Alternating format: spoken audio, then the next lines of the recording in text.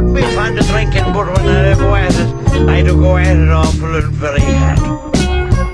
I do have 45 pints in, in about two hours.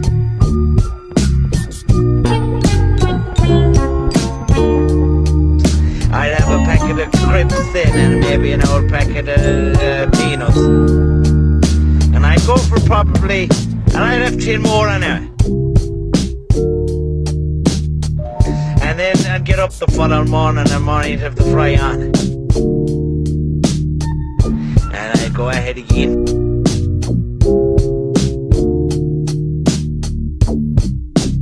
And there'd be no fucking stopping me. I'd take the shirt to any man's back. Bastard.